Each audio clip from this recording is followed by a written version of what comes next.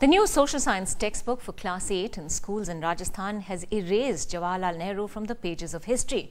There is no mention of who India's first prime minister was. The textbook is also silent on Mahatma Gandhi's assassination by Nathuram Godse. A furious Congress is accusing the Rajasthan government of saffronizing education yet again.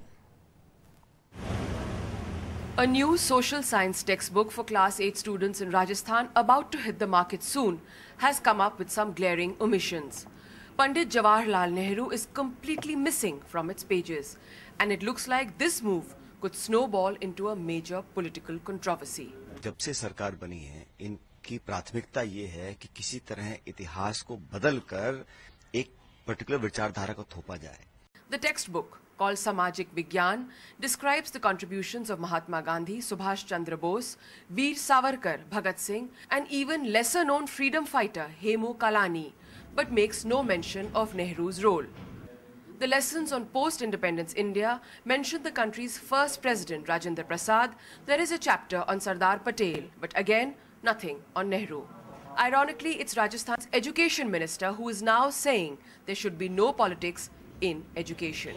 ऐसा शिक्षा के अंदर पहले के कुछ लेखकों ने अपने राजनीतिक आकाओं को खुश रखने के लिए पाठ्यक्रम बनाया जो कि पाठ्यक्रम वास्तव में मेरे को श्रेष्ठ नागरिक और श्रेष्ठ देशभक्त तैयार करना। अब महात्मा गांधी श्रेष्ठ हैं तो हैं सुभाष चंद्र बोस श्रेष्ठ हैं तो हैं वीर सावरकर हैं तो हैं। इसके साथ किसी को भी आ, के साथ एक के साथ तो जुड़ाव एक के साथ दुराव ये नहीं चलना चाहिए जिसका हमने प्रयत्न किया। But this is just one more in a series of controversial decisions taken by the Rajasthan Education Department. After making Surya Namaskar compulsory in government schools and taking the title The Great away from Emperor Akbar, the latest move is bound to stir up political waters.